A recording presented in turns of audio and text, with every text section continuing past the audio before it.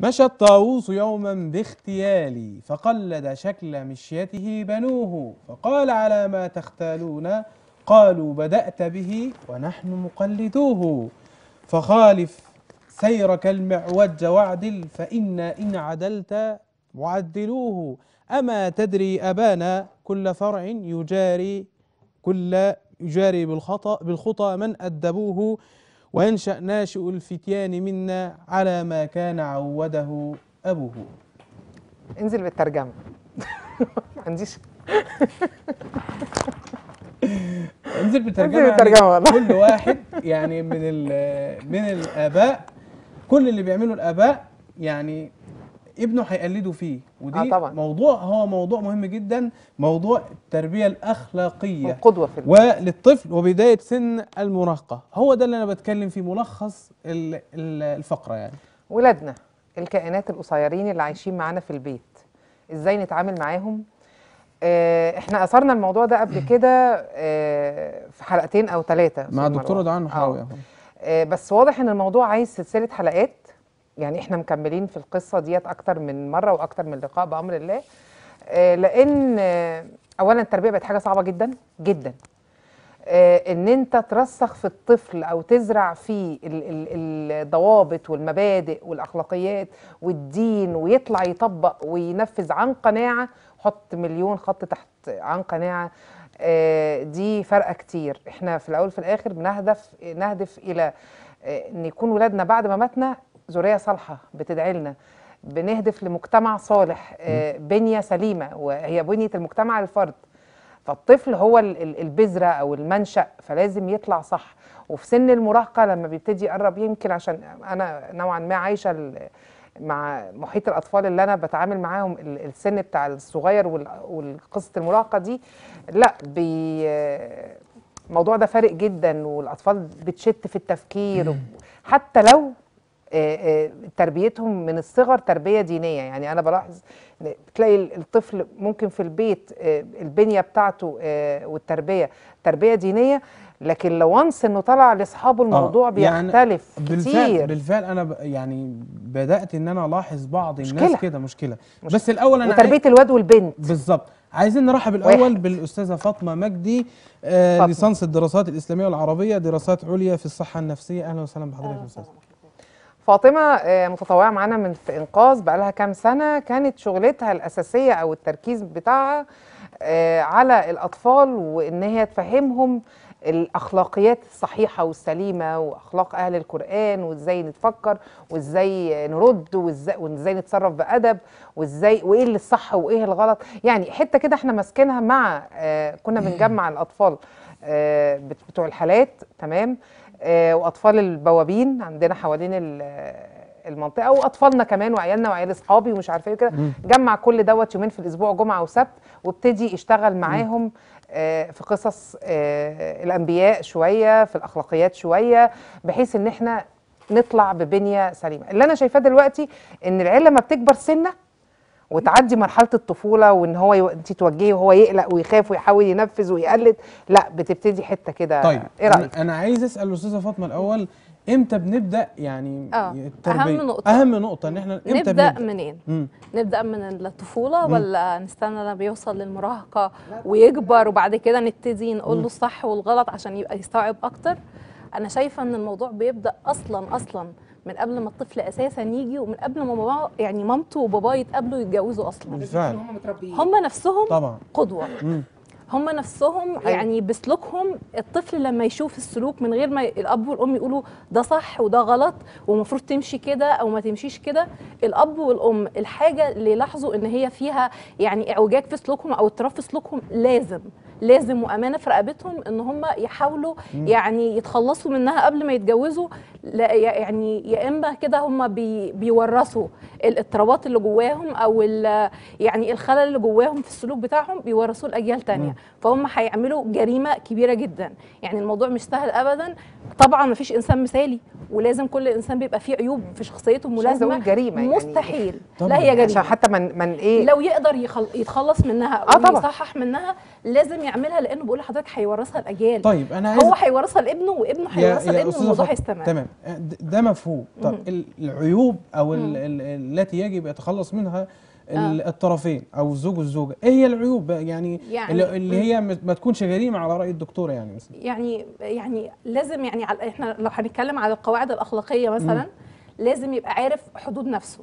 يعني إيه إيه هي القواعد والحدود اللي هو يمشي عليها مم. علشان خاطر يبقى إنسان صالح في المجتمع وما يأذيش. غيره لازم يعرف بيتعامل مع غيره إزاي وإيه هي الحدود اللي المفروض يحطها ما بينه وما بين غيره لأن كل واحد ليه مساحة كده هو مساحة حرية ومساحة تفكير يعني لازم يعني يحافظ ويرسم لنفسه حدوده ويبقى عارف حدود غيره ويعرف إن هو لو خرج حدود غيره حدوده كمان هي هتخترق هي دايرة مم. يعني لازم. يكون تدين تدان لازم مثلا يبقى مرن متقبل الآخر ويتعايش معاه بشكل هي سليم. بعيدا عن تدين تدان هي بتتكلم في نقطة غير تدين تدان خالص. يعني بتتكلم في انت كده يعني يعني انت, انت هتخرج هتخرج حدود غيرك؟ حد هتلاقي حد يخترق تمام. بعيدا عن تدين تدان آه، يبقى مرن متسامح متواضع. اللي هي القواعد الأخلاقية. إحنا مش كمان شوية هنتكلم عن أمثلة شوية للقواعد الأخلاقية. الوضعية اللي هي الأعراف زي ما بيقولوا عليها والعادات والتقاليد آه، فرضتها. وكمان هذكر مثال آه، حكم ونصايح سيدنا لقمان مع ابنه في القرآن. النصايح دي مهمة جدا. يعني هي شامل حاجات كتير هتكلم عليها بس بعد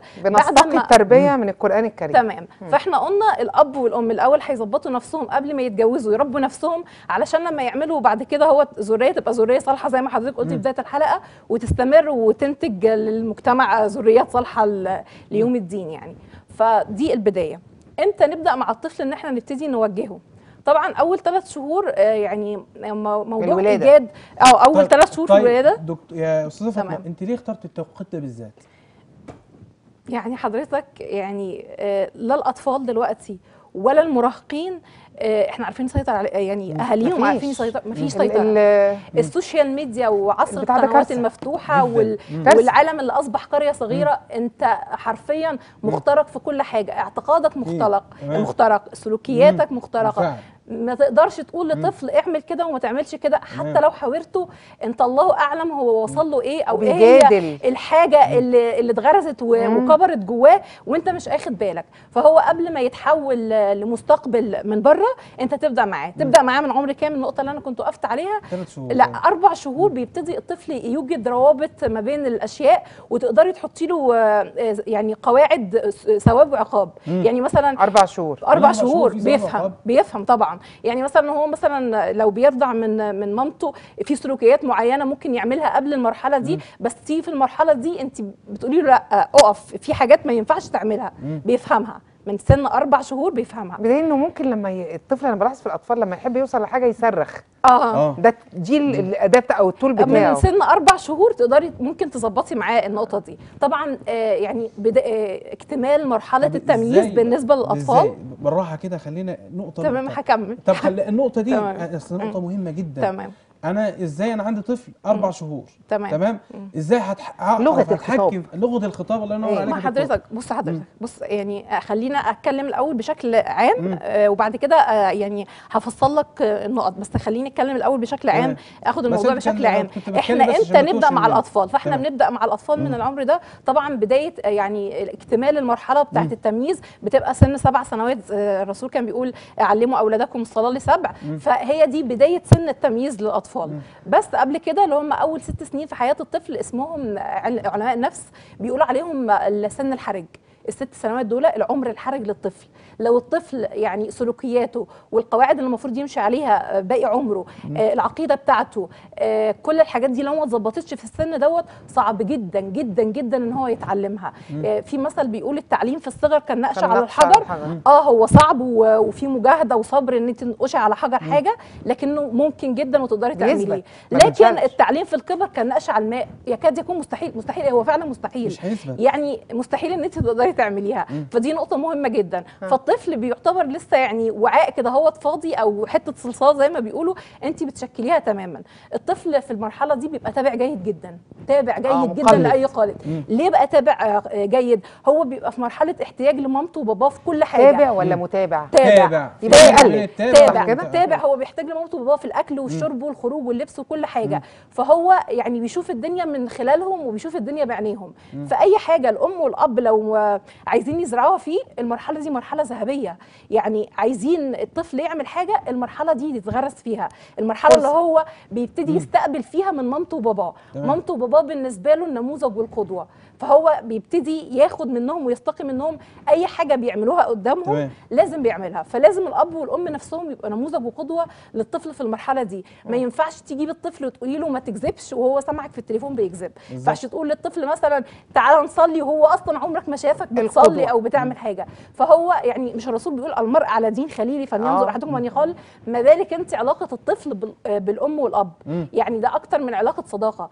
فالأب والأم الصورة اللي هم عليها عليها نسخة الأطفال هي- هي- هي- هيورثوها ممكن الطفل بعد كده يتصلح حاله لما يمشي في المجتمع ويحتك ويكتسب حاجات كويسة من البيئة. وممكن العكس. وممكن العكس تماما فده مش مضمون. فالأم والأب لو ما زرعوش من السن دوت استحالة خلاص الموضوع بيبقى صعب جدا ويرجعوا يشتكوا في سن المراهقة إن ابنهم مش عارف هويته أو آه، سمع مثلا عن الحاد أو شذوذ أو حاجة فراح للاتجاه دوت أو دخل في قضايا مخدرات طيب. تحرش الحاجات دي. إحنا معانا اتصال آه، الاستاذه مي من الاسكندريه السلام عليكم. وعليكم السلام ورحمة الله وبركاته. أهلا وسهلا بحضرتك يا فندم. أهلا بحضرتك. اتفضلي يا فندم. أنا بصراحة بتصل بشكر آه، الجمعية وكل المقيمين في الجمعية لأن أنا بصراحة يعني أنا حصل لي ظروف كتير جدا و- استاذن حضرتك بس تعلي صوتك شوية لو سمحت. الناس ديت هي بجد اللي خلتني اتنقلت من مرحلة لمرحلة وخصوصا أيام الحظر أنا كنت بشتغل في في علاج الأوزون طبعا الناس مع الحظر والكورونا بدأت تقلق ما بدأ ما فيش شغل بدأت قعدت في البيت. آه، وأنا كانت الظروف الاجتماعية حتى كان وقتها زوجي مش موجود ومعايا طفلة عندها أربع سنين ونص. آه، هم عملوا معايا كل حاجة يعني إيجار بيتي آه، ال- البنت حتى في العيد في رمضان. كانت كنت حاسة إن هي زيها زي أي طفل. كانوا بيرعوها جدا كانوا شايفين إيه اللي ناقصها كانوا إيه اللي محتاجينه. بجد الناس ديت يعني الكلام عنها مهما اتكلمت مش هوصلها أي حاجة من اللي بيعملوها ربنا. يبارك فيك يا مي. أخبارك إيه؟ أنا كده جمعت يعني أنا كنت بحاول أفتكر. لله. أخبارك؟ إزاي حضرتك الحمد لله يا حبيبتي. أخبارك إيه؟ جزاكم الله خير. وبجد أنتوا مهما ما الواحد اتكلم عنكم مش ربنا يبارك فيك. أي حاجة. عندك بنوتة 3 4 ساعدتني. سنين صح كده؟ آه تمام. طيب. عندها أربع سنين ونص. آه يا أنا فاكرة حاجة كده. قولي لي كده بتواجهي إيه في تربيتها؟ اسألي فيها الأستاذة فاطمة بحيث إن إحنا نفيد الناس وانت في على الصعيد الشخصي برضو تستفيدي أكتر حاجة بقى إن هي لما بتكون عايزة حاجة بتصمم عليها بالصريخ يعني بتجيبيها أنا عايزة لها؟ ده يعني أنا عايزة ده. بصراحة أنا ما بنفذش في وقتها. يعني أنا بسيبها طب صرخي ولما تخلصي تبقي تعالي لي مم.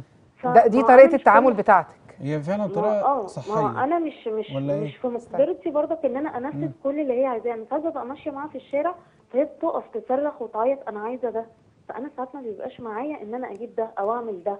طب انت لما واجهتيها إن انت ما- يعني ما بتجيبيش الحاجة في ساعتها ال ال السلوك ده قل معاها ولا لسه موجود ولا بيزيد؟ يعني هي خلاص اقتنعت إن أنا مهما ما هقول أو مهما ما هصرخ انت لو معاكي هتجيبي معاكيش وقلتي لأ فخلاص. يعني ده جاب. نتيجة. آه بس بعد فترة يعني أنا تعبت جدا في الموضوع ده. طيب أنا هتكلم في حاجة شائكة شوية كده ممكن تكون يعني حتة عدم وجود الأب. انت من خلال. معيشتك مع البنت ده فارق معاها نفسيا؟ هي طبعا إحنا كانت قعدت هي ما قعدتش مع باباها غير سنة واحدة طبعا كانت طفلة صغيرة. وبعدين آه، بقت ثلاث سنين. آه، وبرضك بفضل الجمعية إحنا رجعنا لبعض بقى لنا فترة قصيرة بقى لنا زي أسبوعين. آه، الحمد لله. ما شاء الله. الحمد لله. ده ربنا آه، يبارك في عيشتك يا مي يا رب. يا رب يا رب. ده فرق معانا إحنا ومعاها هي ذات نفسها نفسيا كتير جدا. آه، حتى بقى سمعان الكلام عندها آه، بقى مختلف شوية. حاسة إن في ماما بتقول حاجة وبابا بيحاول إن هو يوافق ماما يبقى هما الاثنين عايزين حاجة واحدة. بقيت أسمع الكلام ومضطرة إن أنا شوفي مضطرة ديت إن أنا أسمع الكلام. بس خلوها يعني تسمع الكلام غصب عنها. آه، أنا يعني ممكن آه، اتفضلي، آه. معاكي الأستاذة آه، فاطمة؟ طب بصي حضرتك أنا كنت اتفرجت من كام يوم على مقطع كده على اليوتيوب بالصدفة. كان في بنت صغيرة يا يا تقريبا أوروبية أو تركية حاجة كده يعني جنسيتها. فكانت واقفة في السوبر ماركت هي صغيرة جدا يعني ثلاث سنين أو ثلاث سنين ما تعملش أكتر من كده. فواقفه مامتها بتتكلم معاها بتحاورها. بتقول لها انت عاوزة دوت اللي انت ماسكاه؟ قالت لها لا يا ماما إحنا مش معانا فلوس ندفع الحاجة دي دلوقتي. قالت لها طب يعني انت انت بتحبيها وعايزاها؟ قالت لها لا مش هينفع. انت قلتي إن إحنا مش معانا فلوس الفترة دي لما يبقى معاكي فلوس أنا هبقى أشتريها. فهي ع- يعني يعني هي مش مستنتها مثلا تقف قدام الحاجة ولسه هتقول لها لأ ولو اتعصبت وعيطت تضربها والكلام ده. هي قبل ما الموقف أصلا يحصل هي مهدتها أو قعدت تتكلم معاها والأطفال بيفهموا كويس جدا يعني أنشأت معاها لغة حوار آه، وخلتها تستنتج إن هي طالما معهاش حق حاجة تجيبها فهي المفروض ما تجيبهاش. خلاص مم. انتهى الموضوع لازم يبقى في. حوار طب إيه اللي ولا وصلها ليه لكده؟ واه ليه طب إيه اللي. وصلها لكده؟ فاهمة يا مي لازم لغة آه، الحوار ما يعني بينك وبين الطفل ولازم تقول لها لا ليه حاجة مهمة جدا حاجة. يا- جماعة بس. ثواني يا أستاذة مي أنا دلوقتي بقول لك إيه اللي وصل البنت التركية دي لكده أكيد ما أنا بقول لحضرتك. في لغة حوار وتربية. اتعرف خلاص إن هي رسمت لها حدود زي ما بنقول. طالما إحنا معناش حق حاجة نجيبها وإحنا لا نملك حق الحاجة ديت يبقى إحنا لما. تبقى معانا خلاص ما تجيش إلا لما نملك حقها. فخلاص هي التزمت تماما. بقى قاعدة بالنسبة لها. انتهى الموضوع ما بقاش لسه هتتكلم معاها. بلغة حوار مش لازم. لغة عنف. وما ينفعش لا وخلاص. وما ينفعش اعملي وخلاص. لازم لا ليه واه ليه ودي مهمة جدا وهتكلم معاها هم بيسألوا أصلا يا فاطمة. لازم هتكلم عليها كمان شوية. تمام. أنا بعد اذنك عايزه اسال حضرتك بس عن حاجة. لما اتفضلي. اكون بتكلم معاها في حاجة موضوع وهي مصممه ان هي تكمل موضوعها هي أنا مش هسمعك أنا عايزه اللي أنا عايزاه هو ان انت تسمعيه. حتى طب ماشي أنا سمعتها طب بصي مش هينفع نعمله كذا إحنا هنعمله كذا عشان خاطر في كذا. لا اسمعي كلامي أنا بقول لك كذا ده هي اللي بتقول لك كده. آه ما شاء الله طب بصي حضرتك هي عمرها. قد إيه؟ عمرها قد إيه أصلا؟ عندها أربع سنين. طب بصي أربع سنين يعني واعية ب- بشكل يعني بشكل ما إن هي يعني تلقط ال- الأحداث اللي بتحصل حواليها. مين في آه. العيلة أو, أو ما أنا مش والله مش بشكك في حاجة بس أو مين من زمايلها في الحضانة أو مين النموذج اللي بت- بتشوفه بيعمل دوت الأطفال بيقلدوا. يعني مفيش طفل هيفرض آه، سيطرته كده هو بالشكل ده إلا لما يكون ممكن شاف نموذج. ما فيش هي ما شافتش حد خالص والله فعلا بجد أنا زي ما بقول طب لحضرتك إيه أخبار لغات الحوار ما بينكم وما بينها يعني بتحاولوا إن أنتوا مثلا يعني في لغة حوار دايرة ولما بتيجي تقولي لها ما تعمليش حاجة بتزعقي فيها وخلاص لأ هي كده. مش هتعمليها ولا بتقولي لها لأ ليه معايا أنا الزعيق معايا بيبقى على فترات طويلة يعني ممكن مم. بقعد حبيبتي بصي انت عملتي كده ما هو ده غلط عشان. إحنا المفروض نعمله كذا وكذا وكذا. تقولي لا ما هو أنا عملت كده مامي علشان خاطر. طب يا حبيبتي ما هو ده غلط. طب هي في نقطة يعني مهمه هتكلم فيها كمان شوية هتجاوب على السؤال بتاع حضرتك دوت. هقول لك يعني ممكن تكون هي بتعمل كده ليه وتتصرفي معاها إزاي إن شاء الله. شكرا لحضرتك يا أستاذة. مي. شكرا لحضرتك. جزاكم الله خيرا. دكتورة إيمان أنا عايز أرجع لحضرتك. ال- الأستاذة فاطمة كانت بتتكلم في في أمور مهمة جدا. آه لكن حضرتك معانا كنموذج. بالنسبة آه أنت حضرتك أم. كنت بتتعاملي مع بنتك إزاي في, في المرحلة دي اللي هي مرحلة ال- الطفولة هي بنتك دلوقتي بسم الله ما شاء الله كبرت أنا شوية. بعاني على فكرة أنا بعاني. يعني بعاني في حتة إيه آه، تفكير مختلف مم. بعاني إن بره وال والضوابط اللي موجودة بره مش مش. مش هي نفس الضوابط اللي أنا اتربيت عليها و مم. و وأنا و يعني مش سيبك من اللي اتربيت عليها مم. اللي هو الصح الصح والغلط تمام يعني أنا قد ما أقدر مم. على إيدك يا مم. يا فاطمة قد ما أقدر كنا بنحاول نح- وهم صغيرين جودي من الناس اللي كانت بتحضر مع يعني جودي بتحفظ قرآن من وهي سن ثلاث سنين مثلا. فكنت بحاول اغرز وأحط وأعمل وليها زمايل كده الحكاية- بس يعني- العيال بتقلد بعضها طيب بتواجه ده بعضها إزاي بره. بتواجه ده إزاي كأم بص أحيانا بالشدة واحيانا بالليل مم. يعني أنا برضو مش عايزة إيه آه، آخد الأمور بعنف مم. ببقى قلقانة عشان أنت في في السن ده هو بيبقى عايز يفرض شخصيته مم. وبيبقى عينة دي بالظبط يعني أنا صح آه هي يعني- زودي بداية المراهقة 13 سنة هي عدت. مرحلة الطفولة لا هي لسه ما كملتش لسه ما 12. كملتش آه هي مم. لحد 12 سنة طفوله متأخرة هم بيبقوا تمام. شايفين إن هم صح. و... و... وبيبقوا على دراية بحاجات كتير عشان ده. مع إني. عاملة له حدود أكيد أها. بس بس المكت... بره بره أها. يعني الاحتكاكات النادي، التقليد بالنسبة للأصدقاء مدرسه. نادي. مش. الكلام ده كله. يعني أنا حاسة إن إيه إن أنا في حتة أنا دلوقتي بتكلم بقى كأم. والدنيا كلها بره في حتة تانية أها وببقى قلقانة بل أنا آه. خايفة من المستقبل أه آه خايفة من طريقة التفكير. آه يعني فاهمة بيب- ما هو على فكرة يمكن من خلال التجارب اللي أنا بشوفها حوالينا أنا قلت نطلع بالحلقات دي. مم. عشان أكيد ال- اللي عندي عند أصحابي عند ناس تانية. وإحنا في الأول وفي الآخر عايزينهم يطلعوا إيه؟ آه. جيل سليم. صحيا ونفسيا وتهمني حتة نفسيا دي. طيب. بيبقى عندهم حتة إيه؟ ال- آه، الانا مم. الظهور ها. دايما الطفل في ال في ال في, ال في التوقيتات دي. هو بيبقى بيبحث عن الهوية بتاعته. أبقى شيك زيادة عن اللزوم. أبقى آه، فاهمة؟ آه. يعني الحاجات دي دي حاجات كويسة إن هو يبحث عن الشياكه والحاجات دي في ما. يبقاش ده آه. لوحده طيب. أنا بشوف ده في آه طبعاً. الأطفال آه، يعني استاذه فاطمة تمام. أنت حضرتك أنا عايز أمثلة تمام. للقواعد اللي نعمل إيه؟ امثله تطبيقيه للأخلاقيات دي تمام, في حاجة اسمها قواعد آه، وضعية مم. البشر هم اللي حاطينها أعراف وعادات وتقاليد كل مجتمع آه، بتختلف من ثقافة لثقافة ومن مجتمع لمجتمع تمام؟ تمام. يعني ممكن تلاقيه اللي ينفع عندنا هنا هوت مثلا في اللبس ما ينفعش, بره. والعكس. تمام. دي بتبقى حاجات وضعية. خلينا بقى نربي ونمسك في الثابت. إيه هي القواعد والقيم آه، الأخلاقية الثابتة اللي ما بتتغيرش ولا بتتبدل لا من ثقافة من ثقافة ولا من مجتمع لمجتمع. اللي هي القواعد المرتبطة أو اللي موجودة في الدين. أكيد طبعا. جدا. الله ينور. سيدنا لقمان مثلا في القرآن حط ورسم لابنه حدود للتعامل. مم. أولا بدأ معاه بالعقيدة. آه، وإذ قال لقمان لابنه آه، وهو يعظه يا بني لا تشرك بالله إن الشرك لظلم عظيم عظيم. بدأ له يعني بأعلى حاجة وهي العقيدة والتوحيد. أهم حاجة يبدأ بيها. وبعد كده آه، أوجد له زي قانون مش قانون آه، أوجد له حب مراقبة ربنا في قلبه وإن هو ما يراقبش البشر, البشر. والصح. والغلط بتاعته ما يبقاش المعيار بتاعه البشر. يبقى المعيار بتاعه. المعيار بتاعه مراقبة ربنا في السر والعلن وفي الكبير والصغير الله ينور. فقال له يا بني إنها إن تكن مثقال حبة من خردل فتكن في صخرة أو في السماوات أو في الأرض يأتي بها الله إن الله لطيف خبير. حسمها له. يعني أنت ربنا بس اللي قدامك. حطه. بتراقبه في الصح والغلط الصح والغلط في أي مجتمع نسبي. اللي عندك صح عند مجتمع تاني غلط. ولو أنت قلتي له مثلا إن الحاجة ديت صح هيقول لك ما هي هناك غلط أو العكس. فأنت لا أنت حاطي له قواعد ثابتة. كتاب بيقول إيه؟ بس. كده انتهى بالظبط يا الموضوع. دكتور. وبعد كده بعد ما حط له مراقبة ربنا في كل حاجة حط له رسم له حدود ليه أخلاقية يتعامل بيها مع نفسه ومع غيره. يا بني أقم الصلاة وأمر بالمعروف وانهى عن المنكر واصبر على ما أصابك إن ذلك من عزم الأمور. الأمور. وبعد كده آه، دخل على آه، يا بني آه، آه، ولا تمشي في ولا ولا تصعر خدك للناس ولا تمشي ولا في تمشي في الأرض الأرض مرحا إن الله لا يحب كل مختال فخور واقصد في مشيك واغضض من صوتك كأن أنكر الأصوات لصوت الحمير. ده كده حط له ورسم له نموذج أخلاقي يعني آه، يفهم إزاي نفسه يرسم لنفسه حدود إزاي يرسم لغيره حدود إزاي عشان ما يتعداش يطبق ده بقى إزاي؟ يعني إن. اليات أيوة. آليات آليات التفاعل. آليات التفاعل. أول حاجة. زي ما قلت لك في البداية خالص إن الأب والأم نموذج. ما تقولش لطفلك حاجة إلا لما يكون حاضر في سلوكك. ممكن ما تقول ممكن ما تنصحش أصلا الطفل ولا ولا توقفه قدامك وتقول له اعمل وما تعملش. اعمل الحاجة قدامه بس. قوم صلي قدامه. ما تكذبش قدامه. قول الصدق قدامه يعني أدي الأمانة قدامه. اعمل قدامه. خلاص انتهى الموضوع.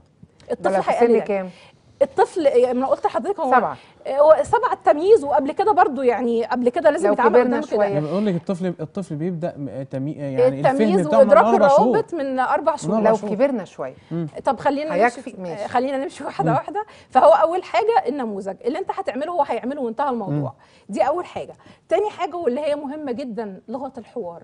يعني. هي المشكلة كلها إن الطفل دايما طول الوقت ما تعملش وتصرخ فيه وتزعق له ولو لو قلت له مره وما استجابش يتضرب. لا ده غلط ده في حوار مم. لا ليه آه واه ليه؟ بالظبط. حوار. كسب القلوب أولى من كسب المواقف زي ما الإمام الشافعي قال. يعني ندي وقت لأولادنا. مم. لازم التدرج والصبر. يعني الرسول لما قال حسنوا أخلاقكم وقال إنما العلم بالتعلم وإنما الحلم بالتحلم بالتحلم. تدرج. تمام. الطفل ما يتقالوش مرة واثنين وثلاثة ولو ما عملش يتضرب. ممكن الطفل أصلا لغة الحوار المستخدمة معاه غلط. في أربع أنماط للشخصية لو حضرتك تعرفيهم. الشخصية المسيطرة والودودة والمعبرة وال- والمسيطرة المحللة. ففي أربع أنماط شخصيات. فممكن تكوني لغة الحوار اللي أصلا مستخدماها مع الطفل مش لغته يعني أنت بتستخدمي معاه لغة مش لغته معنى كده إن إحنا في التربية لازم نلجأ للصحة النفسية أو حد ما هو نفسيا حضرتك متخصص من من الحاجات اللي الأم والأب قبل ما يتجوزوا أصلا يعملوها طبعاً. كل واحد يقرأ في اللي التربية اللي يختار الزوجين تربية دي أو لازم. بعدين لا، اختيار اختيار الزوجين الأول يا. دكتور في حاجة. اسمها علم نفس النمو أو أسس التربية والحاجات دي فيها كتب ومؤلفات يعني لا تعد ولا تحصى تاني آه يعني انت يعني أنا ممكن. أقرأ اقروا يا جماعة قراية محاضرات ندوات أي حتة فيها تحصيل لعلم طيب دكتورة تعمل. يعني أخيرا كلمة من حضرتك للأمهات اليوم. آه نقرأ. مم. وندي مساحة من الكلام والوقت لأولادنا. مم. معظم ال- ال- السيدات دلوقتي بيشتغلوا مم. فبيبقى في وقت كبير من وقتهم. مم. آه، شغل وبتيجي مجهدة تعبانة. لازم تدي وقت وتسمعي لازم تمام. تسمعي. بدل ما يسمع الطفل والطفلة من بره. تمام. لازم وقت. أستاذة فاطمة كلمة في نص ثانية من حضرتك. إزاي نجابه التكنولوجيا؟ نو- يعني إيه نجابة التكنولوجيا؟ نجابة التكنولوجيا في في في يحبها تأثيرها تأثيرها على الأطفال. السلبي. أنا كل دلوقتي كل كل ما أروح بيت ألاقي الطفل ماسك التليفون.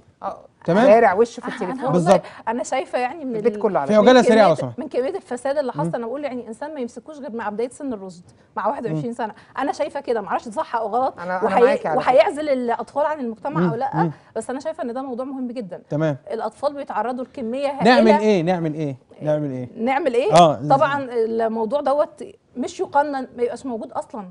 ما يسمح. ما يسمحش يعني. كبرنا مع العيل في المدرسة عشان دخوله وخروجه يعني أنا عايز أنا عايز أحسب الموضوع ده, يعني من ثواني باب ثواني من باب العلم آه. اللي ب...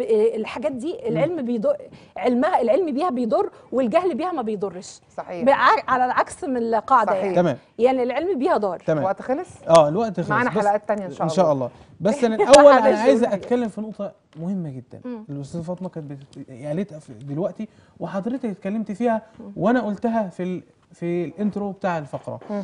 إن إحنا كل حاجة سلبية أو إيجابية بنعملها آه، دلوقتي الطفل بيسجلها عنده. تمام؟ لحد سن معين. لحد لا بيسجل. لحد لحد سن المراهقة هو الطفل بيبدأ يسجل.